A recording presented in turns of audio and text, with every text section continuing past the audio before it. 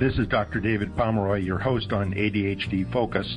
I wanted to remind you that the show is not intended to be a recommendation for diagnosis or treatment of any condition for any specific person.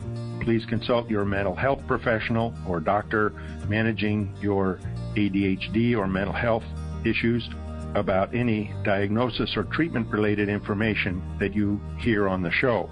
Refer your ADHD provider the show if he or she would like more information. Thank you. Today, my guest is Theresa Maitland, who um, I spoke with a few weeks ago. And check out our uh, previous podcast um, for the initial part of our discussion. And today we're going to be going over briefly summaries of what we talked about last time, as well as some uh, continuation of those subjects.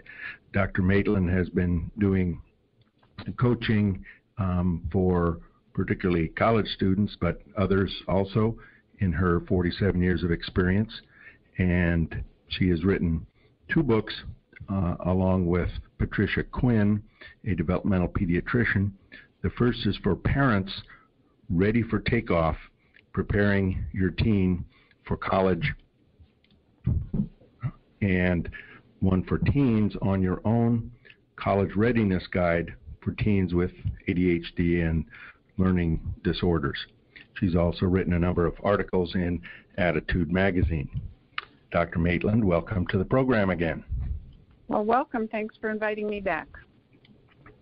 So, um, in kind of summary from what we um, talked about before, I think the three main points there were to, for the teen, to understand and own your differences. Your brain processes things differently.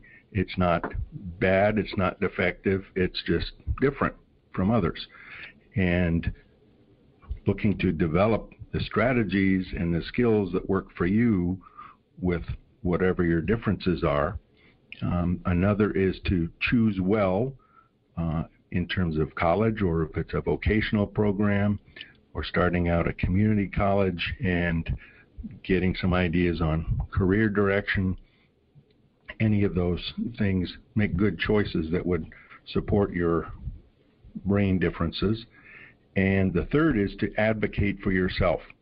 Uh, colleges offer great support systems to help you, and there's no shame or um, discredit to you to at least talk with the staff before or as soon as you get to college so that you understand what they can offer. Um, Dr. Maitland, are there others that we talked about, or any comments about those those three? Uh, those I think capture the the main points of our, our very lively discussion. I think um, I would I would underscore just number one because I think it's the bottom of the pyramid. Like if the young person really does understand themselves and their differences um, it doesn't really even matter how severe their differences are. That's I guess that was the point I made is mm-hmm. um, it's about severity of differences. I've met people with very severe reading disabilities and ADHD and emotional issues who understood them and accepted them, and they made really wise decisions about their post-secondary experience, and they were very proactive in advocating for themselves. So I would just underscore that it all kind of starts with number one. Mm-hmm. Exactly.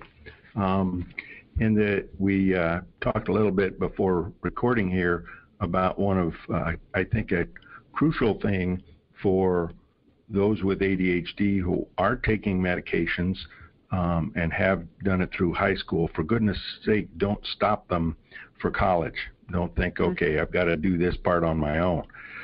Medications helped you then it's a big transition. Don't um, leave that assistance behind. Um, and the other, and even more important point, you're going to be now living away from home most of the time. Protect your medications. Don't keep them next to your toothpaste, and you don't need to tell other people you're taking them. There will be pressure from others if they know you're taking them to um, let them use some, or they'll buy some, or they'll decide to uh, take some. If you sell or give them to someone and they get into a problem, you're on the hook and it's a felony to do that. So don't do it. That's a really great point. point, and I think I mentioned to you that I've just written an article article for ADDitude Magazine on this, and it forced me to review the literature. Mm-hmm. Um, and the interest, the reason they wanted me to write a practical article is they uh, either have by the time this podcast is out, or will soon be running an article about a young college student. He was interviewed by Jeff Copper from uh, ADHD Talk Radio, ADD mm-hmm. Talk Radio. Um, he actually had the worst case um, situation occur for him. The culture on his college campus was real loose about sharing stimulants. At first, he just started selling them to his friends to make some money. Uh, before you know it, he was selling his whole prescription. And mm-hmm. one day he came back from the dorm, and 14 DEA enforcement agents were in his room, and he actually had he went to jail. And the interview with him talks about how many students, he's an example, they they don't think it's any big deal. They don't realize right. it's a controlled substance and it's not like sharing another medicine. It's on the list of Schedule 2, right, controlled substance and it, and if you're caught selling it, it is a fed, federal crime. So um, they they asked me to do an article that was more practical. Mm-hmm. So I think what you're saying is, is happening in high school too. I think we have to really our high families of high school students and even middle school students. The research I looked at said that um, over 50% of college students said that they had been approached by a friend or a stranger to either give away or sell their medicine, and mm-hmm. then the other statistic that's alarming is 25% of high school and middle school students had been approached. Wow. So we got to start earlier than we think talking mm-hmm. to our um, stimulants. Right, and I know right. there have been a a number of studies on college campuses that, um, and these were from a few years ago, that one third of kids who said they had taken Adderall or whatever stimulant in the previous six months did not have a prescription for it. Um, and it's been used as a study drug, a party drug, all kinds of things. And this is not uh, a, a minor deal. You don't know if the person who you're giving it to or selling it to has a heart problem. They could have a heart rhythm problem and end up dying. Um, so it's not a uh, it's not a benign kind of thing, even though for you it doesn't have particular side effects and it helps. Right, right. That can be the confusing thing, and I think the younger that people like uh, in your role and families really just reinforce to young people that this is critical. It does help you. We don't want to discontinue it in high school, but on the same hand, we have to make sure that you know how to protect it be discreet about it. Um, because the other part of the research that was alarming to me is that um, almost two thirds of the people who uh, who don't have ADHD on college campuses who are getting the medicine, mm-hmm. they, they got it they got it from a person with ADD who has a prescription. So unfortunately, our young people with the prescriptions are the source, and it, it starts with this not understanding the casual that, that casual feeling like oh my friend is okay well it's not okay and like you said it's yeah. really good for you but it could be really harmful not to mention you're the one who could get in big trouble mm-hmm. uh, so. well, moving to uh, some of the other things in in terms of uh, high school and then on into college vocational school whatever the next step is um, I think it's very easy for teachers and parents and sometimes students themselves to focus on grades and use grades as the measure of how well am I doing, um, what's my that's my success measure, and I think that's uh, selling short other talents that um, the person may have, whether it's playing saxophone or robotics or really good in sports, and those also make a difference um, in terms of what colleges look at, but also life enjoyment. High school isn't just about learning history or how to write an essay.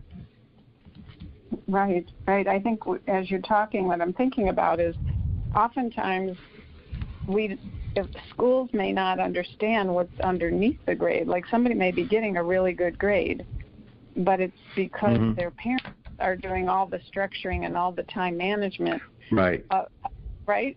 Or sometimes we do meet really gifted people with ADHD who can get that A by doing it at midnight and again, that isn't going to play in college, right? So, right. Like, probing underneath the grades as well as, as you said, developing other aspects of the person's talents um, and helping them become a whole person who has hobbies and maybe volunteer experiences. Because really, in today's world of applications at college, people are looking for people who are more well rounded, right? Who have done. Mm-hmm yeah, other things. Um, yeah, I've I've seen uh, kids who, yes, they're getting A's and B's, but they're up till one o'clock most nights, finishing the work, doing um, the work, and they're determined to get it done, but they're sacrificing by not getting good sleep. Their mental clarity is not going to be good the next day, and the double whammy is if you're taking medications for ADHD, those are they need to kind of finish their effect at 9 or 10 so you can get to sleep. So if you're trying to do homework at, at 11, not only do you not have your ADD medicine, so you're not going to be able to focus very well, you're going to be sleepier, and then if you're trying to do the work, going to end up staying later to finish it.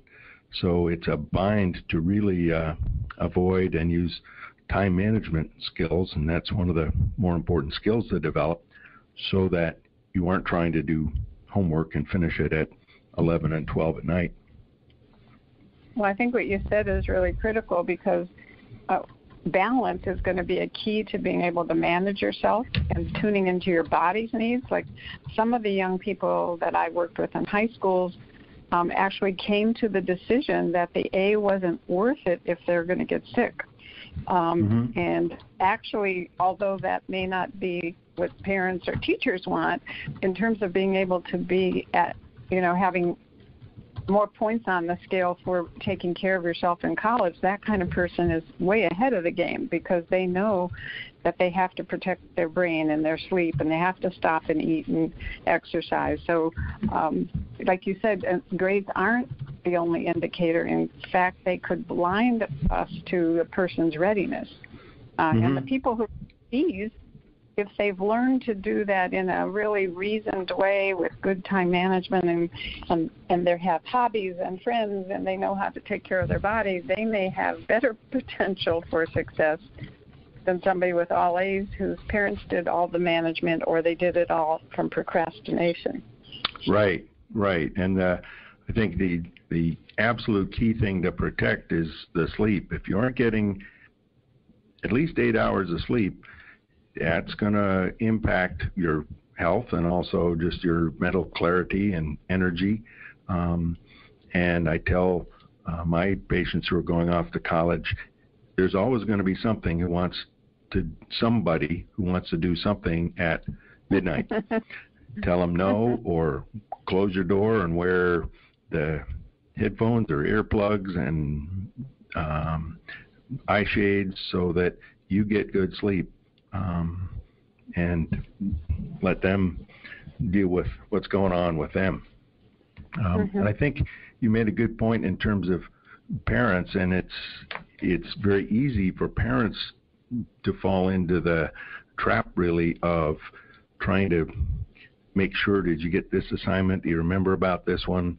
and structuring the time, keeping a kind of micro watch on what's going on, um, and then essentially the parent's a co-student. But then you get to college and you're on your own. Um, mm-hmm. So parents need to take a coach role and not be one of the players.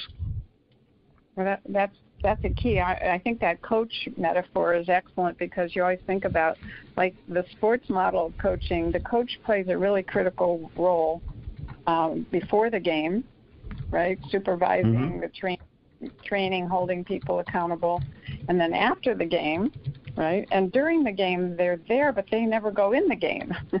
uh, Yeah. Right? They they're on the sidelines, maybe calling out plays or you know yelling and and screaming, but they coach never does play you know shoots the basket. And I think for a lot of parents of young people with these differences, that line gets blurred because they do have somebody who has trouble following through and they're afraid to have them fail. So sometimes they shoot the basket for the kids. They write the paper or they um, force the issue. And although that may, again, going back to the grades, that might get somebody the grades, it's dangerous for the future because they're not learning all those important planning skills and uh, time management skills that the parent probably has.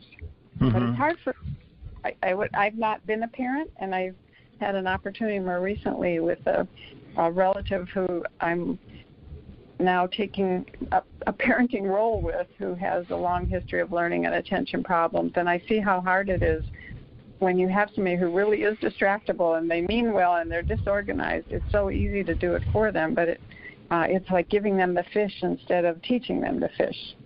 Right. So, Um, I think that with the sports analogy and uh, um, analogy and the coach after the game, I think good coaches aren't going to berate everything everybody for what they didn't do, but Mhm. to support them and say, hey, you know, losing is part of the way things go. These are what some things we can maybe improve on, but these are the things you did well, and we can continue to develop those strengths. And um, having parents understand, you have to support what went well and give advice, but not um, shaming and blaming in terms of what didn't go well or threatening, gee, if you don't do well, you aren't going to get into a good college because that's just going to increase the anxiety for, for the teen. Well, and, and let me just say the books that you mentioned, what promoted Dr. Quinn and I, what really motivated us to write, especially the Ready for Takeoff book, is that she, you know, in the role that you have, she's a developmental pediatrician, and she would see parents getting in the game. And as an educator, I would see parents getting in the game. And we wanted to have a way to really help people um, understand. We understand why people get in the game when you have kids with these differences. right? Sure. But we, we wanted to give people a process where they they could slowly scaffold their young person Mm-hmm. To take the reins. And the reason we named it Ready for Takeoff, we were thinking, you know, if you look at how pilots get trained, uh, they nobody says to them, right? We're going to just drop you off at the airport, and now it's your turn to fly. They do Yeah. hundreds of hours of co-piloting, and and we thought, wow, we don't do that with our young people when they go to college. We're co-piloting, co-piloting, right? We're kind of take we're flying the plane sometimes, and then we give it over to them with no middle ground. So how do we help parents play that middle ground role? Because if they let go of control, many times kids with these differences don't pick up the slack. Right, right. And um, have the strategy. And it, it is a skill the parents need to develop, and I think that's true throughout adolescence, where the task is to gain the skills to become independent. Um, and I think what many parents and people in general lose sight of is you can be caring for someone by helping them become independent. Um, let them, letting them see the consequences of not following through or not completing things but better to do that at kind of at home and during high school when the consequences aren't as much as gee you flunked out of college so caring by letting the team become more independent and learn how to do it that's um, the focus rather than well i care about you so i'm going to help you all along the way which is really enabling the problem and what we talk about in the book is exactly that the difference between enabling and empowering. Um, and let me just share you know, I, I interviewed about, well, I, I coached probably thousands of students, but I took it uh, in a very deliberate fashion. I interviewed about 100 students to find out what their transition experience was and what they wished Hmm. they would have and what advice they would give. And what motivated me again to to have this become my career, right, and help parents and young people get ready is to e- almost every student said they wished their parents would have let them fail. Um, and that many of them talked about that uh, because of the maybe they got special help in high school and maybe their parents would call the school and activate their IEP or their 504 plan. And if they were late with a paper they would ask they would say well it's in her IEP to have extensions. And what they talked to me about was how sometimes the modifications and accommodations that the schools offer and the way parents fight for them actually can backfire and prevent a person from actually facing the consequence of a bad decision um, and, and and learn from it. So it, you know, my my experience is many times parents in high school don't want to let a failure experience happen because they worry their young person won't get into the right college. But what they don't understand is if they get into the right college because of all the structures the parents and the teachers are doing, we're Right. doing them a great service. Right. They aren't going to all of a sudden know how to do it when they get to college, even though the support may be, be there at college. It's still going to be more hands off. This is what you can do, but it's up to you to do it. Um, and one thing that uh, many people ask, and I think a lot of colleges figure, oh, you have ADD or you have dyslexia. So one of the things you need is extra time on tests, and that's not, again, not always an advantage, and not sometimes it may give folks with ADHD more of an advantage against those who don't have it. Um, so I really try to get into detail of uh, are there is it math tests that are problems or reading tests? Is it where you have to write an essay? Is it more of a a, uh, specific area around organizing your thoughts and writing an essay under kind of time pressure, or is it math facts that get in your way of showing it you know how to do calculus? So if you need a calculator, so you don't get mixed up just on the multiplication part, and then you can uh, demonstrate you can understand the calculus part, fine, have the calculator, but you may not need the extra time. Uh, so really sorting that out is is important. I do want to get to. Go ahead. No, no, go. It's good. Um, I wanted to get to, and you touched on the the student's perspective of um, what helps or what worked against them during high school. How about parents' perspective in terms of how they can approach it uh, in the best way? What's coming to me is an example of in the interviewing of these students, I met students whose parents actually deliberately started coaching their young person, maybe starting in middle school. Like, for example, if we take um, if we take an example of how can a young person learn what their disability is and learn how to advocate for themselves. Um, I feature a young girl in the book whose mother was a special education teacher, and starting in middle school, whenever there was a, an IEP meeting, she she started making her daughter come to those meetings.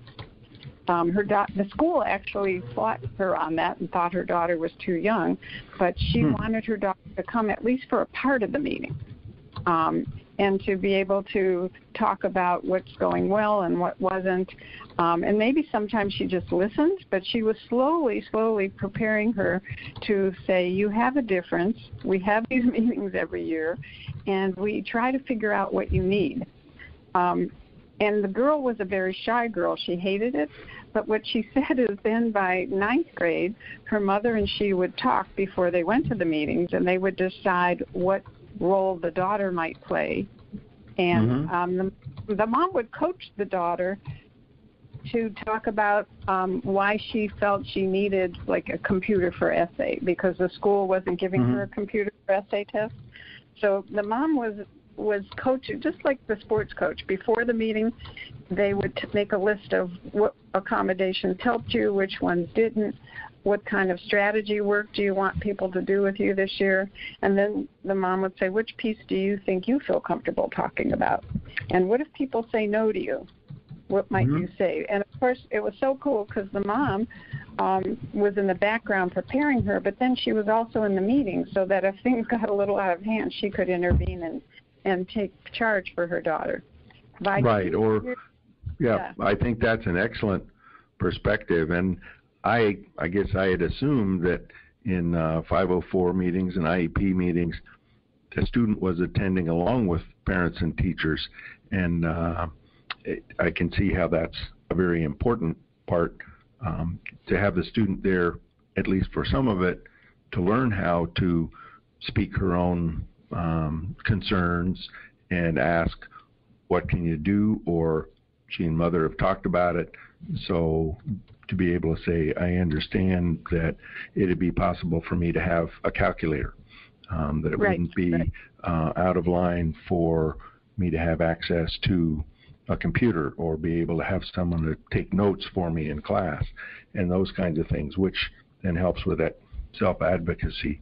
Um, Right. that's great. And- and It was, and I think to assume that the young person is always at the meeting might not be accurate because even if they're being invited, sometimes they're saying no, and then their parents don't make them come, right? Mhm, mhm. And the the research on college transition does say that one, uh, the people who have participated actively in their school meetings have a better transition. So, for example, this is a place where this mom, because she was perhaps a special ed teacher, knew this was a great arena to teach a whole bunch of skills. What she did that was so neat is by senior year, she told her daughter, I'm not going with you to any meetings. Now, unless there's an emergency with somebody that you can't handle, my job is going to be to coach you Mhm. for everything and to help you prepare yourself, even rehearse with you what you might say, and then talk with you afterward. But she actually made a decision that she would not contact the school on the behalf of her daughter at all. So what that meant is that um, if there was a problem with a regular ed teacher, she would coach the girl how to deal with that.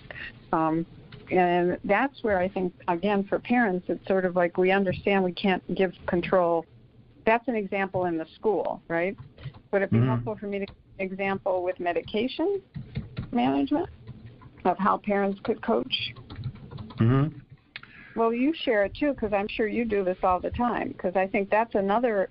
There's so many specific skills where we could give an example, like how do you teach somebody to wake themselves up, right? Right, and remember your medication in the morning. And um, I think it there's a wide variety in terms of how teens feel and think about their medication. Oh, it's just for school, or I don't like the way it makes me feel, one thing or another, and that's important for me to address with the teen.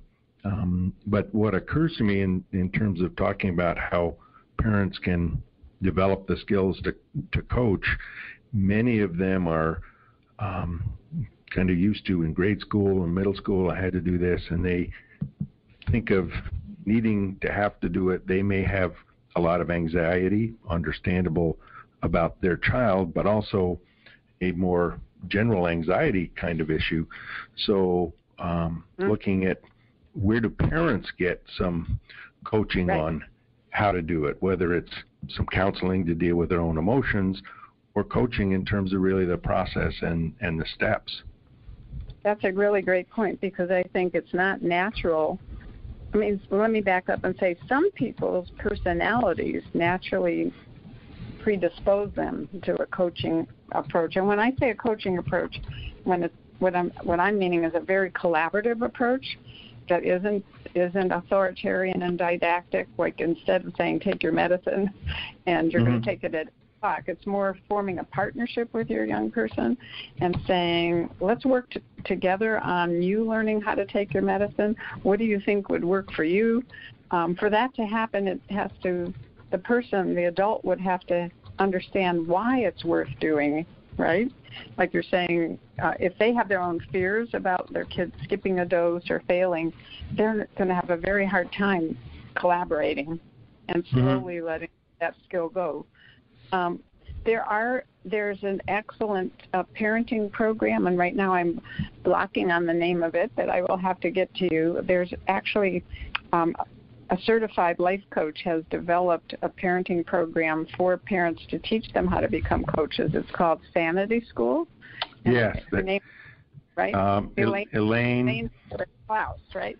Right, Elaine. right. And I did a podcast or a couple of them with her way back right. when I was starting it about two years ago. But yes, her Impact right. ADHD and Sanity School are excellent uh, parent yeah. coaching um, programs. And sometimes, for example, I I have some I have a parent who heard a webinar that I did for ADDitude, and she's asked me to coach her to help her become more of a coach because she's by nature more authoritarian and she's more controlling and she's fearful about failure, and it's really hard for her to to back off and be a partner with herself. Mm-hmm. Exactly. So I think I think you're right. Like, what are what are the prerequisites that a parent needs to move into this role? And one of them, one of them is to understand that in that role, you can actually be building the executive functioning skills of your child. That when you're telling them what to do, you're actually being their frontal lobes. When you're right. coaching them by asking them questions and letting them think through solutions, you're actually giving them the chance to mobilize their own problem solving skills, all of which will be needed in independence in, in college and in life. Right. And, value it. And as uh, usual, we've run out of ta- time and still have other things to talk about. So hopefully we can um, have another installment of, of this. Um, to summarize some of the things we talked about today, number one, with medications, if you're going to college and you're taking medications, don't stop them, but also don't sell them or give them, give them away. That's uh, major potential for disaster. Grades aren't the only indicators of success in high school, and the balance of other activities are important. And learning um, for parents to learn the role as coach and really use the sports analogy of the coach doesn't play, but can give you advice and pointers beforehand and afterwards. My guest today has been Theresa Maitland, who has done a lot of research into coaching teens and families and has a lot of experience doing it. She's written two books, uh, Ready for Takeoff, which is one for parents, and On Your Own, which is for teens, in terms of getting ready for that transition to college. And Dr. Maitland, thank you again so much for being on the show. Well, thank you, David, and I'm so glad that you exist out there as as someone who's there for all the families in in the Northwest. Thank and, you so much. Thank you. Bye bye. Bye bye, and thank you, audience, for your listening attention. And I look forward to bringing you more facts and information on our next show.